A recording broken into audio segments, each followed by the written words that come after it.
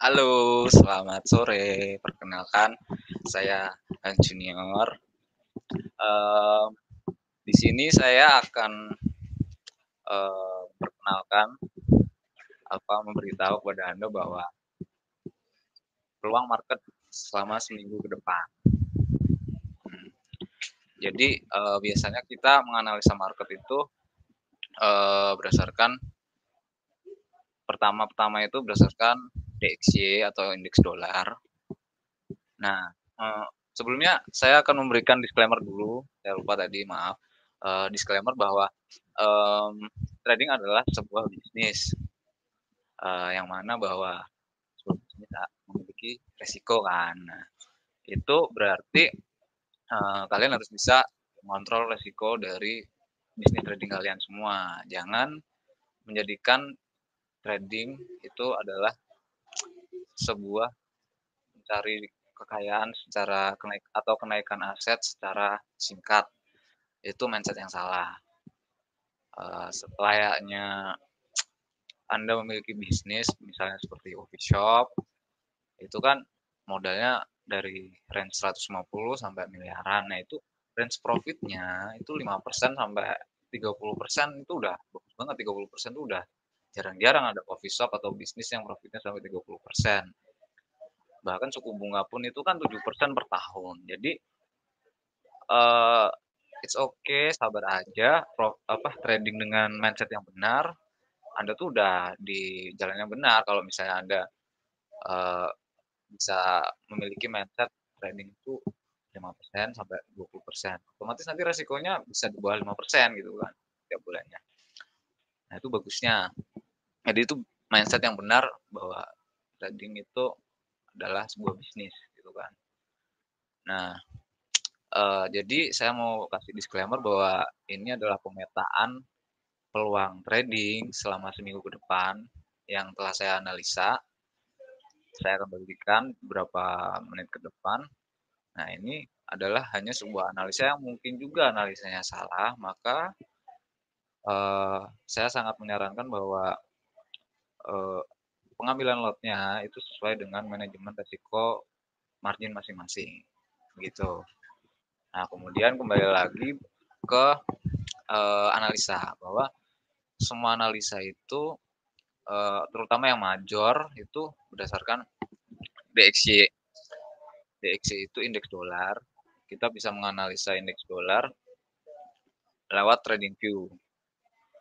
Nah, itu uh, pergerakan emas, terus major-major yang apa pairing major seperti GBP USD, Euro USD, yang lawannya USD itu bisa dianalisa dengan satu chart saja yaitu DXY atau indeks dolar.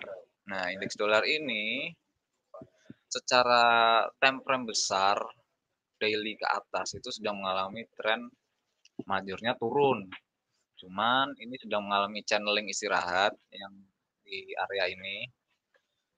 Ini nanti tunggu breaknya yang mana yang atas atau yang bawah. Tapi biasanya dia akan break melanjutkan tren turun, tapi juga nggak mesti. Makanya harus hati-hati. Uh, ini kemungkinan besar selama belum break dia akan mantul-mantul di area channeling ini aja sampai nanti break entah kapan. Nah, itu namanya channel distribution. Biasa itu seperti setelah apa mengalami ekspansi penurunan atau kenaikan uh, beberapa waktu dia akan distribusi di area-area itu uh, itu itu aja gitu kan. Nah DXY ini secara wave sebenarnya area distribusi juga bisa dianalisa. Biasanya A B C D E. Sorry ini berarti E belum dirubah lagi kan? Sorry sorry ini belum dirubah. Ini E. Uh, ini E major. Nah di wave minornya ini C. C kenaikan ini A, B, C atau A, ini B, ini C. Tuh. Kemungkinan besar pendekatannya seperti ini. Nah, analisa ini hanya sebuah pendekatan. Jadi ada kemungkinan besar juga, ada kemungkinan juga bahwa analisa ini salah. Makanya kembali ke disclaimer tadi bahwa eh, pengambilan lot harus disesuaikan dengan margin masing-masing sehingga resiko trading Bapak Ibu terukur. Nah, kembali lagi uh, dalam beberapa hari ke depan atau mungkin pekan juga bisa satu minggu ke depan atau bahkan dua minggu itu indeks dolar menurut pendekatan saya akan mengalami tren kenaikan minor menuju ke titik E yang ini di titik E channel. Di titik E ini biasanya bisa di sini atau agak naik menembus channel ke SND di atasnya terdekat. Nanti baru habis itu lanjut turun.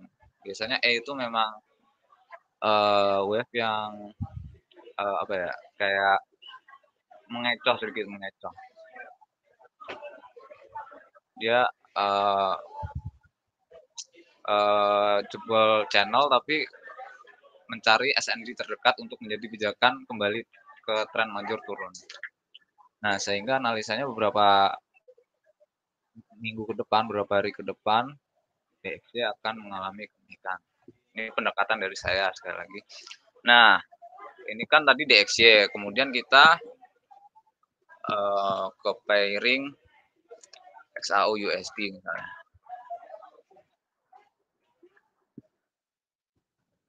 Nah, XAU USD ini areanya sekarang juga cukup membuat channeling juga, cuman uh, belum bisa dipastikan dia akan melanjutkan kenaikan atau dia break bawah. Jadi memang areanya masih di situ-situ saja. Detailing areanya untuk SNB terdekatnya seperti ini di area sekarang S apa resisten terdekat berada di area 1992 itu bisa jadi area sell. Area buy-nya tadi di bawah 1955 itu area buy. Dan terbukti harganya setelah menyentuh 1955 mengalami kenaikan. Mungkin ini akan naik terus ke area sell ini 1992 dan kemudian kalau ini enggak tembus karena ini fresh juga fresh resisten itu apa dia akan kemungkinan besar kuat karena dia fresh kan. Jadi akan mengetes supply supply terdekat. Jadi area sell menurut saya cukup valid di sini 1992 1992 ya betul. Area asalnya di sini area buy yang tadi sudah kena cukup terlambat mungkin kalau masuk sekarang karena udah cukup tinggi.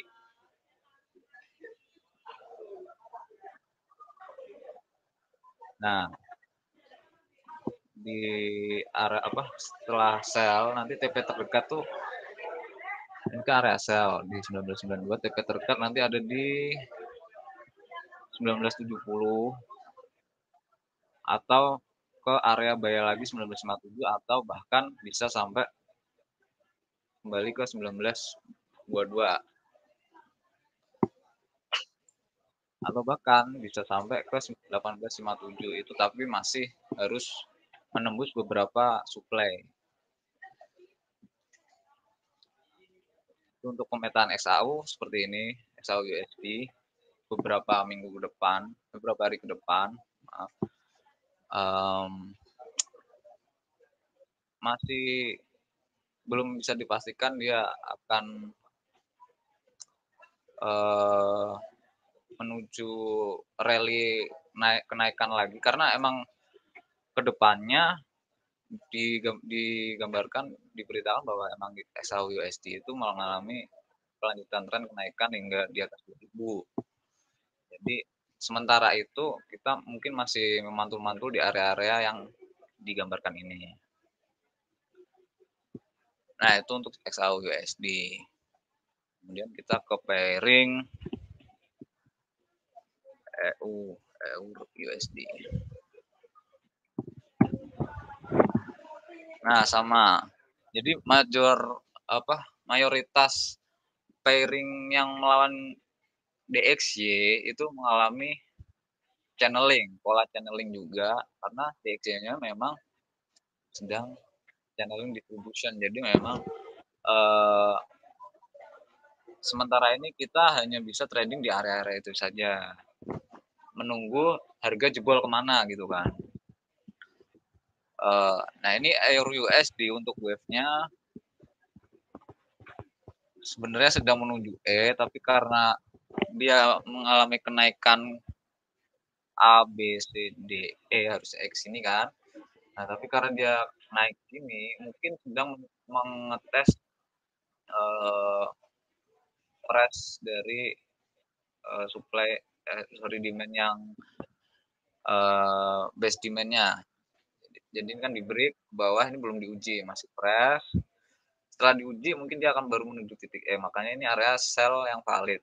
Dengan automatically harus uh, manajemen risknya kembali saya ingatkan harus diperhitungkan. Kalau uh, saran dari saya untuk yang benar-benar aman resikonya itu 0,1 saja untuk modal margin di bawah 3000 itu kalau bisa biar tradingnya nyaman. Itu di bawah, apa alat yang diambil 0,1 saja. Dari tiap pair. Gitu. Jangan ditambah. Karena apa namanya e, pengaturan resikonya terus nanti ke kalau ke floating juga nanti kalau ditambah-tambah terus tangannya gatel itu nanti uh, beban psikologisnya berat satu. Terus akhirnya berdampak dengan pengambilan keputusan yang salah. Biasanya seperti itu. Sebenarnya kita um, dalam trading ini analisa salah nggak masalah asalkan pengambilan resiko yang kita ambil itu tepat. Jadi misalnya ini area sell valid ya udah lot yang diambil sell dengan lot yang sesuai dengan margin masing-masing. Nyaman jika pun analisa ini um, dan ini berarti digambarkan dari titik E akan mengalami penurunan. Dari titik D ini sorry titik D menuju titik E. Nah ini area sel yang valid. Area sel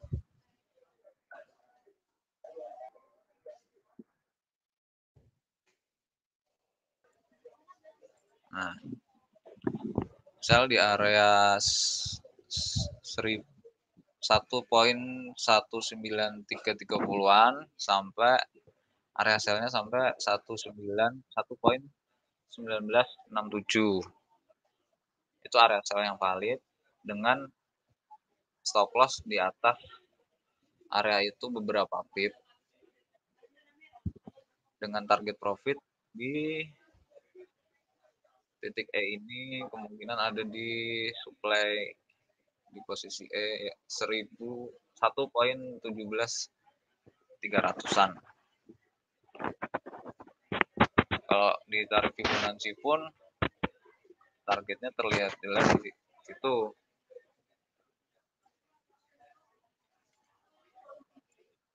Nah, 161 ada di area 1.17 ini ini bisa jadi area pijakan untuk buy. Uh, setelah sell dari area valid ini turun ke sini nah ini baru masuk ke area buy.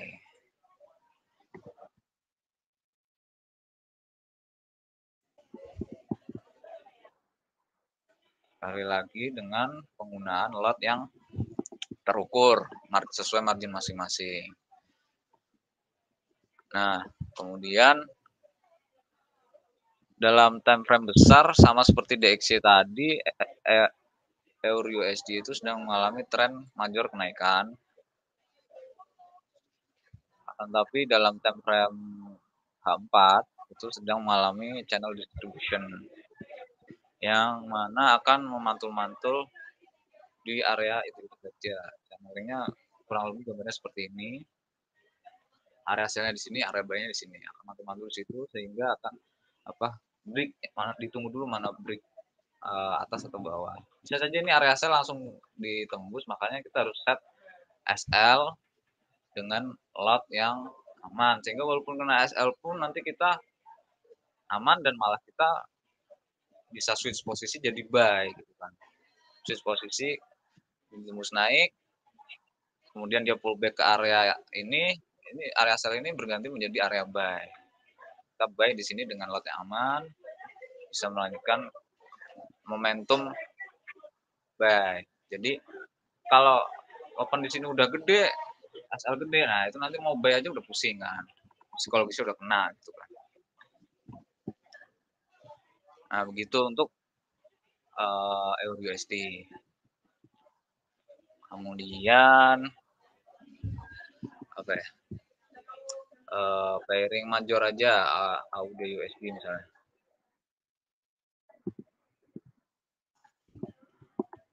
AUD USD.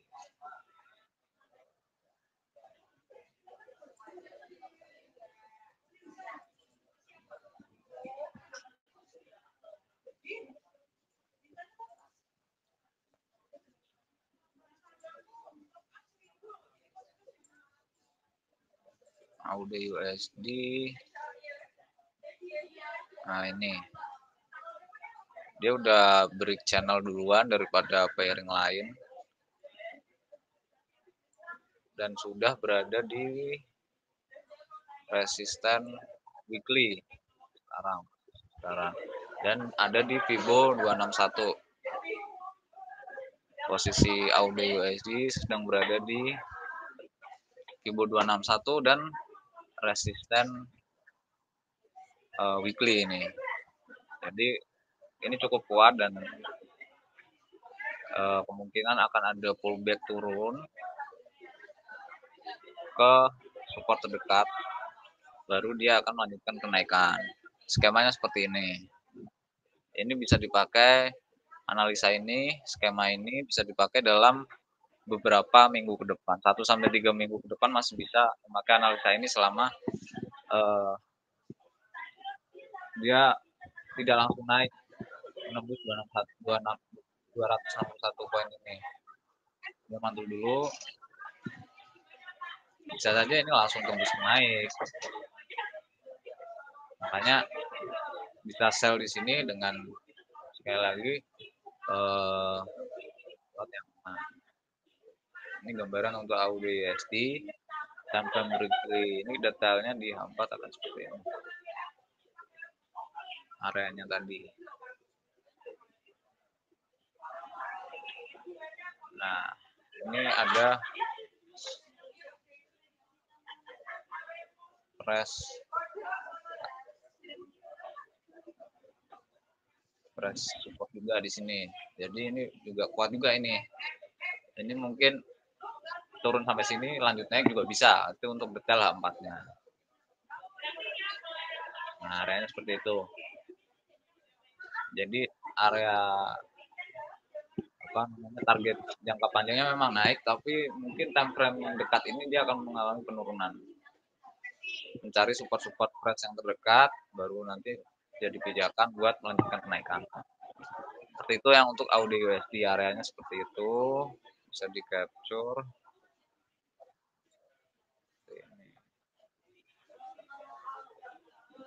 jadi area buy ada di 0. 725 68 itu area buy di H4 tadi kalau untuk di weekly dan daily di titik di poin 0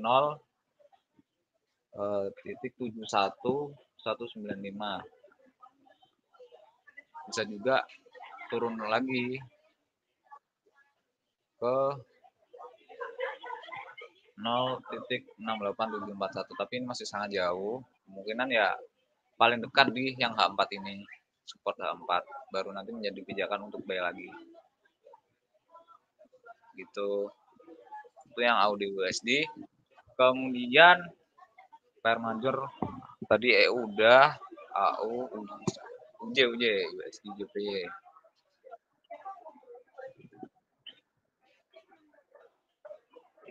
YBY. Mana ini? Nah, secara empat beberapa hari ke depan areanya seperti ini cukup sederhana. Seminggu ke depan area hanya seperti ini saja.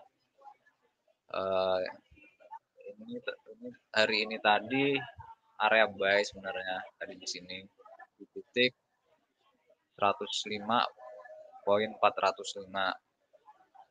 kemudian area selnya atau menjadi TP buy-nya berada di 106.568 itu bisa jadi area sell dan area TP buy. Area sellnya juga bisa juga di di resisten atasnya 106.638 sampai 106.930 dengan penurunan targetnya bisa di 104.579 jadi sama sedang mengalami channel distribution areanya seperti ini. Ini untuk USD JPY nah ini kemungkinan besar kenapa di area ini turun karena ini sudah break uh, low yang ini. Jadi kemungkinan besar kenaikan ini uh, adalah mencari pijakan untuk turun ke supply yang belum disentuh yaitu di 104.55 uh, 104.500 lah sekitar itu untuk USDPY target TP nya bisa di sini. Area selnya di sini dengan sekali lagi SL yang uh, risiko yang aman sesuai margin masing-masing. Uh, itu untuk USD JPY kemudian uh, per major ada sterling sterling.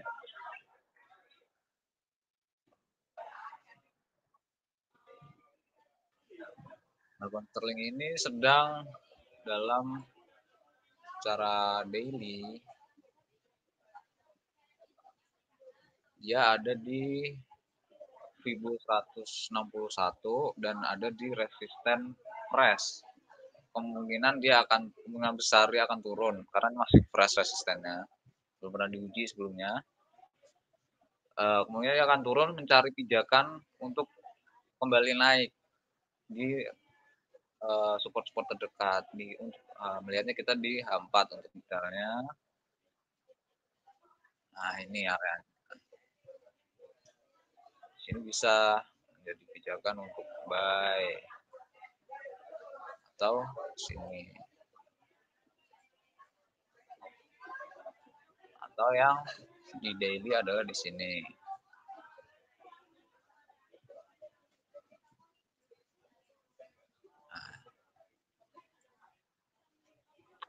pound sterling USD kurang lebih gambarnya seperti itu trennya masih naik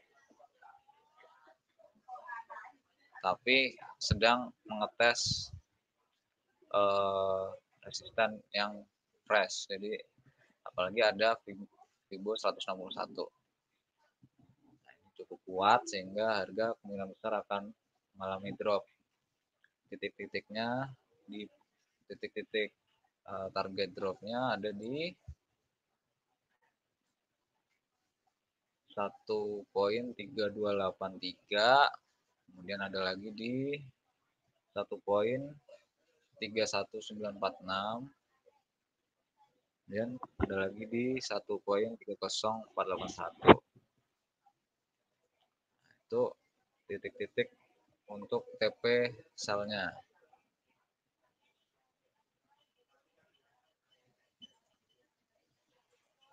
nanti kemungkinan besar akan terjadi skenario seperti ini.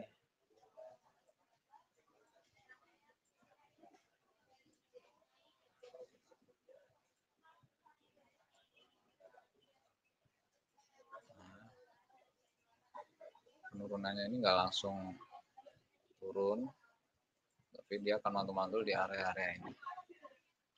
Itu kurang lebih. Jadi ini bisa menjadi area TP sell, kemudian apa baik uh, karena ini turun kita kalau saya pribadi mengincar untuk sell lagi di atas di support di resisten terdekat kemudian dia turun lagi itu terus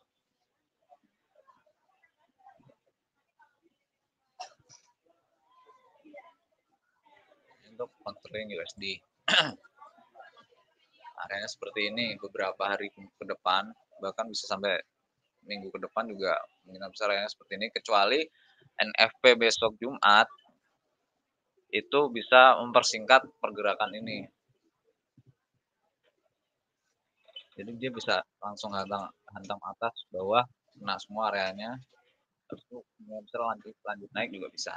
Jadi NFP eh, Jumat ini menentukan sekali uh, pergerakan di pairing USD atau lawan dari USD.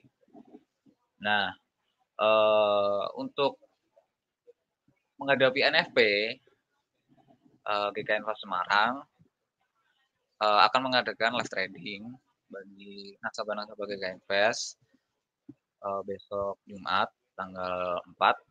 Kita akan start mulai jam 7 malam.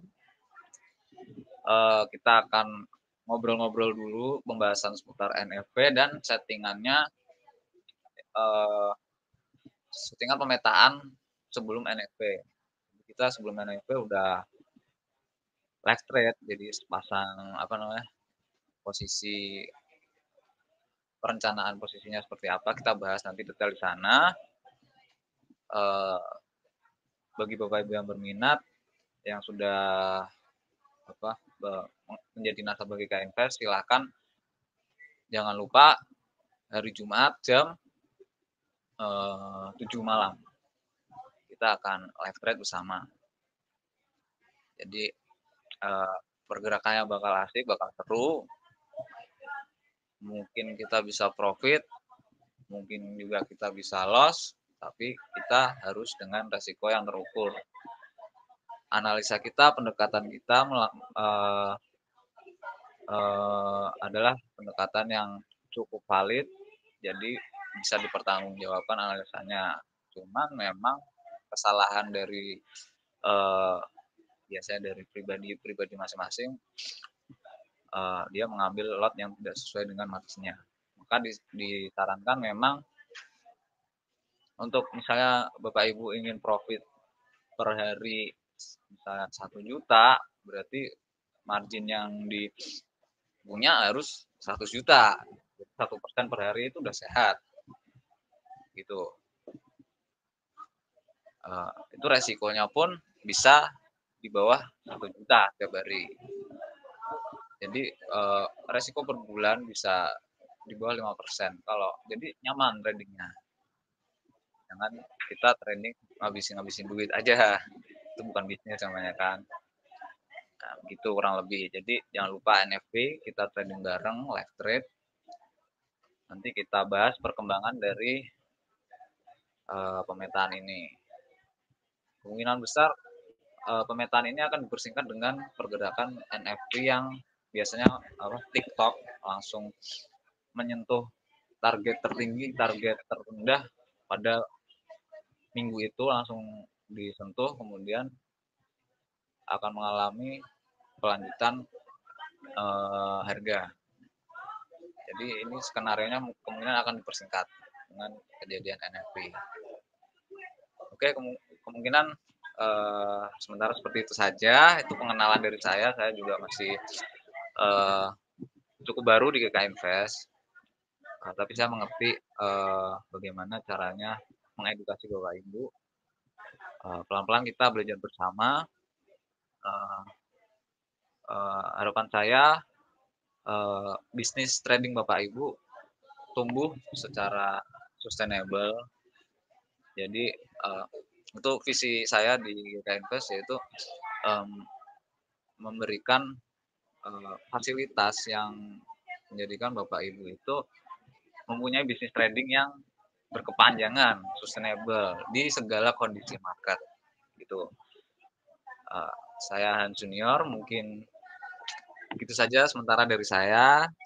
Sampai jumpa di materi-materi atau pertemuan-pertemuan selanjutnya. Yang terdekat adalah NFP di tanggal 4 di hari Jumat jam 7.00 malam. Oke. Bye, salam sukses.